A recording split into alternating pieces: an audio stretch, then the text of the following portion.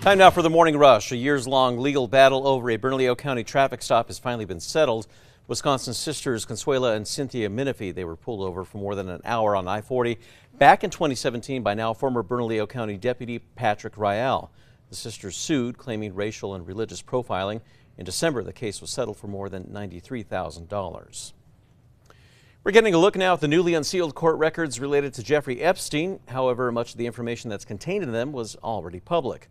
A deposition with the victim, Virginia Giuffre, names some of the figures that she says were involved in the sex trafficking ring, including late New Mexico Governor Bill Richardson. Now, in 2019, uh, Richardson said that he had never met Giuffre.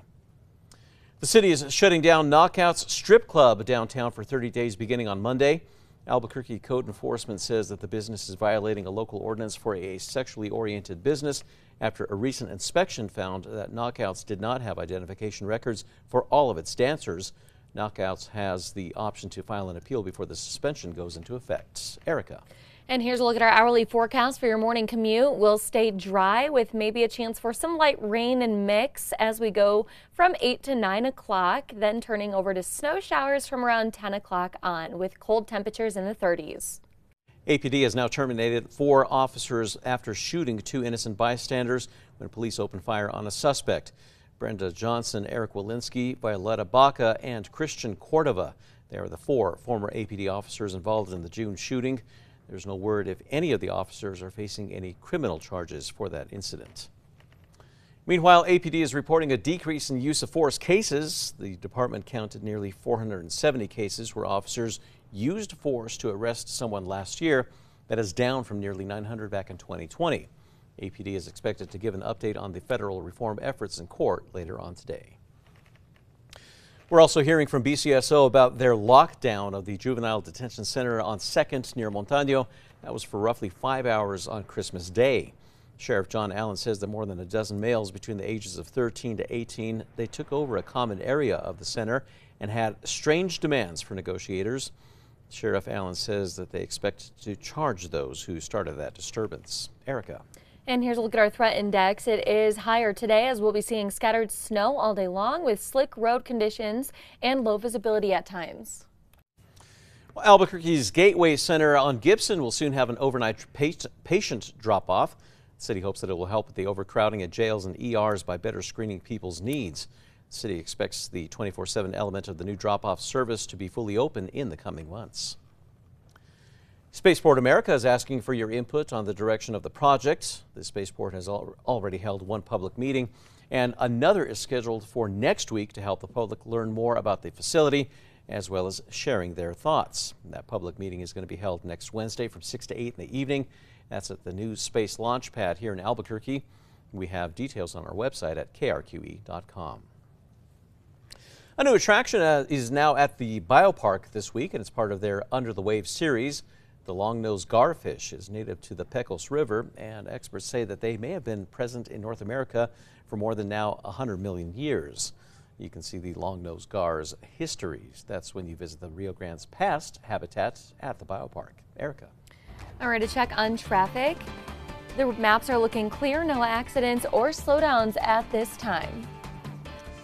Arachnophobes look away because the Australian Reptile Park in New South Wales said that the largest male funnel web spider that they have ever seen has now been donated to by a member of the public. That spider, which you see right there, which has been named Hercules because of its unusual size, is 7.9 centimeters wide. The spider was donated to the Reptile Park's life-saving anti-venom program. Time now for the five facts. A new attraction is at the Biopark this week as part of their Under the Waves series. The long-nosed gar is native to the Pecos River and experts say they may have been present in North America for more than 100 million years. Biopark experts say long-nosed gar can reach up to six feet long and can live between 15 and 20 years. You can see the long-nosed gar's history when you visit the Rio Grande's past habitat in the Biopark.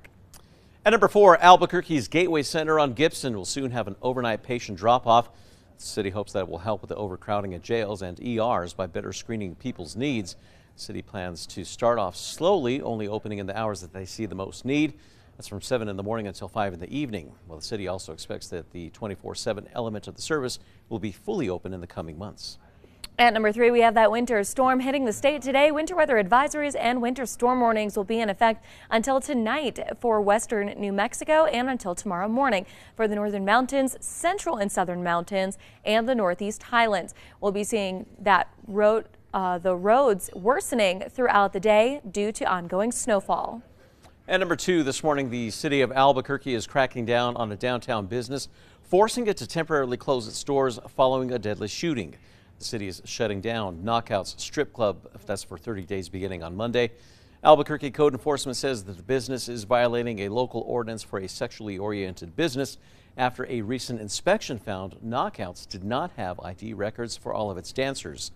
Now, if there is a second violation within the next year, the mayor has the ability to revoke the club's license to be a sexually oriented business here in the city. And at number one, a years long battle over a Bernalillo County traffic stop has finally been settled. Wisconsin sisters Consuela and Cynthia Minifie. They were pulled over on I 40 near the Route 66 casino in 2017 by now former Bernalillo County Deputy Patrick Rial. That stop lasted more than an hour, with Rial ordering the women and a child out of the vehicle while they searched the car. That was without giving reason, while another deputy, Leonard Armijo, stood watch. That search did not turn up anything. The two Minifie sisters went on to file a lawsuit claiming that they were racially and religiously profiled by the deputies, saying that they were only pulled over because they are black and because Consuela was wearing a headdress.